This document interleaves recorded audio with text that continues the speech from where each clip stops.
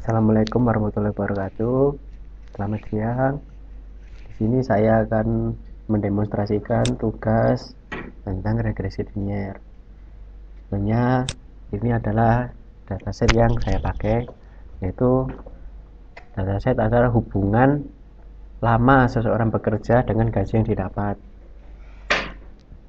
Oke, itu setelah itu ini program yang kami buat yang di mana kami menggunakan library sklearn untuk hmm,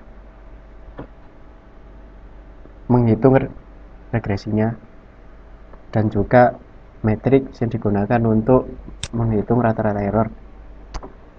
Yang pertama pada baris ini saya meload dataset tadi.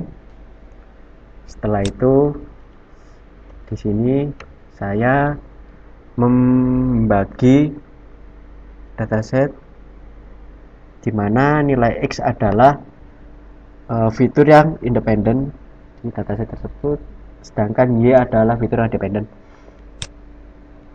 setelah itu pada baris ini saya men-split data menjadi dua bagian yaitu data test dan data set data testing dan uh, data training. Di mana data trainingnya sebesar 80% dan data tesnya sebesar 20% setelah itu saya membuat objek linear regresi linear regression dari library tadi. Setelah itu kita fitkan antara nilai data training dan di training. Setelah itu kita dapatkan Y prediksi di baris ini dengan parameter X test setelah itu saya menampilkan hasil Y prediksi yang berupa yang berupa prediksi gaji dari pekerja.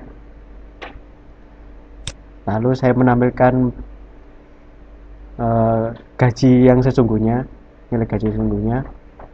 Setelah itu saya menampilkan rata-rata error yaitu uh, selisih antara uh, gaji hasil prediksi dengan gaji yang sesungguhnya. Setelah itu saya menampilkan uh, grafiknya. Kita coba run.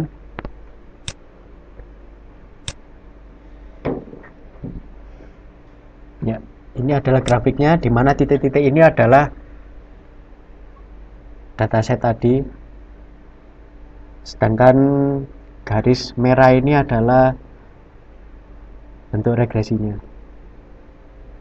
Nah di sini kita lihat hasil printnya di mana hasil gaji prediksinya adalah 2525 dan juga 3779 di mana uh, data ses data sesungguhnya adalah 2500 dan juga 4200 setelah itu kita hitung selisihnya antara hasil prediksi dengan data sesungguhnya lalu di rata-rata dan akhirnya kita mendapatkan 222 sekian dari saya tentang demonstrasi regresi lindarnya kurang lebih mohon maaf. Wassalamualaikum warahmatullahi wabarakatuh